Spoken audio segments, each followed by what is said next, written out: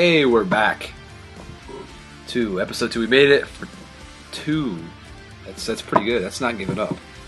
So uh, thanks everybody for the response to the last one. Glad everyone got their questions answered. I'm glad we have some new questions to address. So we'll keep this one uh, short and sweet, straight to the point. So uh, first up, Josh Mortensen uh, commented that not really a question, but he never imagined we'd look like this. Uh, I know we're, we look good. I didn't I didn't expect to look this good in video either, so surprise to both of us. But It's not to me. I'm, Yeah. I'm very used to it. maybe a couple years ago you would have noticed that we would fit the part. We used to we used to have long hair. We used to wear metal shirts, but now you know we, I, th- I think we everybody. grew up. We grew up. You know. I think everybody in the band has had flowing long hair at one time or the other.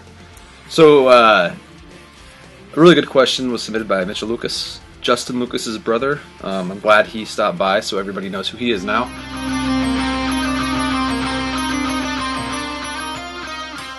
It's sort of still in discussion, but ideally, Lorenguard would like to continue being an unsigned band. Uh, if we can afford to be independent and do what we want to do by ourselves, great. If there's a record label that comes along with a progressive deal, you know, not trying to take all our money away, but has a way to, hey, we want to help you guys out and push push your guys' stuff, help you do marketing and to make sure distribution. distribution, yes. But you know, right now we don't have any offers like that hanging over our heads, so we're just gonna keep tracking on. But um, you know, I'm comfortable with the independent route. We're doing pretty well. We have a good foundation, and uh, Lorenguard is a very. We're kind of in the a good place to be do a do-it-yourself band. We have lots of talented guys in the band that are good at different things besides just playing music. I mean, Brady wrote, wrote you know wrote a book. Um, we have I can't play drums, so I have to make up for it. Chris, Chris, Rob, and myself all have graphic experience. So does Raleigh. Um, I mean, everybody has ways to contribute to the band, doing everything ourselves. So we do what we can, but uh, it'd be nice to have extra help with the marketing because we're busy writing music and stuff like that. So yeah, we're not going to give away our our souls to a record label just because it's a contract or hey, we're signed now. We don't care about that. We're more about just continue doing what we want to do and make the music we love.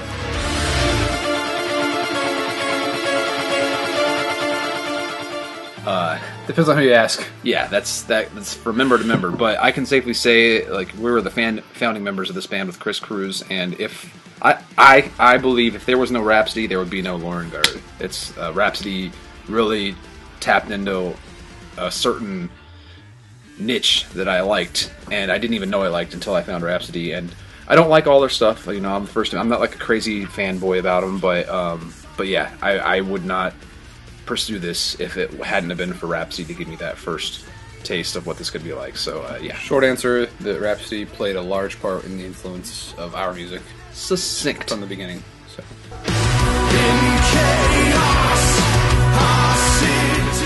He liked my Millennium Falcon T-shirt. Thank you. Yeah, well, to answer the question, what bands, albums you're listening to, I usually go in spurts. Um, haven't listened to a whole lot of new stuff lately. Um, stuck on my old Freedom Calls and my Falconers and stuff like that. But um, I have picked up the new Dragonland Under the Grey Banner, and it is phenomenal. Um, good recommendation from the Black Wind Metal uh, review site. But yeah, that's one of my big ones right now. And uh, you listen, do you listen to music at all? Um, I'm always listening to a lot of Falconer. Um, Flight of the Conchords. I listen to Flight of the Conchords, yes. Um, pretty much anything that Brady has What is that I end up putting on my iTunes and listen to. Um, and to answer your other question, I'm still not burnt out of Eve of Corruption. Um, I have I listen to it like every day basically. It's in my car and I listen to it all the time, and I'm Yeah. still not sick of it. I guess one of the reasons we started our, this band was to have music that we could listen to and not get sick of. So that was our goal, and I think we accomplished that with this first album. So Yeah, it's still surprising that you figure you'd be burned out of this kind of stuff, but um, it's actually really, uh, really scary thinking about our next album because we have a lot to live up to. Because in my mind, uh, Eve of Corruption is it's a lasting album, which is hard to do. It's hard to make one that, that stays with you and you don't get sick of it. Because, like Adam said, we listen to that crap every morning. We go to work and we have Eve of Corruption playing, and every time I hear it, it's like kind of still special. I don't know. And uh, I haven't got sick of it. I think this also goes back to what I mentioned in the last episode as well. That when you know the story behind the music, it kind of gives it more depth. And the more you listen to it, the more you find different aspects of what you like about it. and uh, it's disgusting. It's I don't know what I was saying anymore, but You like it's not. you like music. Um, that's about. Co- I think that covers it. So uh, hopefully that answered everybody's questions, and uh, we hope to do this again. So please keep posting questions because that's the only thing we have to talk about because we're very boring people otherwise. And uh, We'll try to do an update next time of what's going on with the album two progress, how and that goes, and we might actually have a sneak peek at the novel cover because it is this close to being finalized. This this close to being finalized.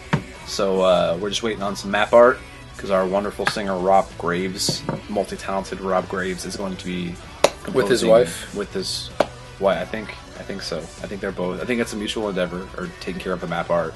Um, so they're bringing Valendale to life, so all of you can know where the hell everything is going on, which we'll see how much it helps. But uh, yeah, until next time, get your everybody go buy the album, buy Eve Corruption, so we can make another album. and buy my book. It's not available yet, but buy it anyway. Just send me money. We'll, we'll, we'll, figure out the details later. See ya!